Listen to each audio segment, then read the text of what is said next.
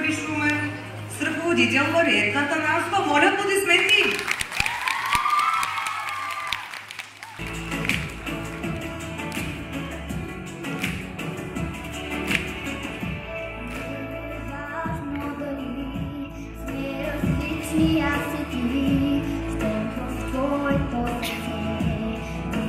Всички цветове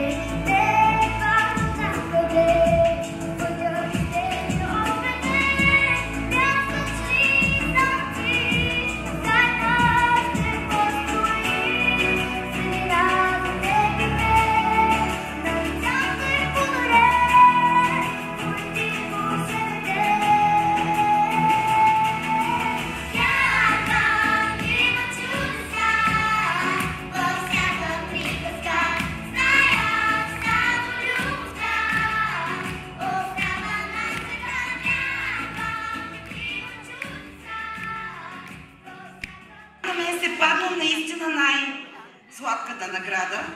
Тя е печели вокална група Искрици. Браво! Знаех си, знаех си!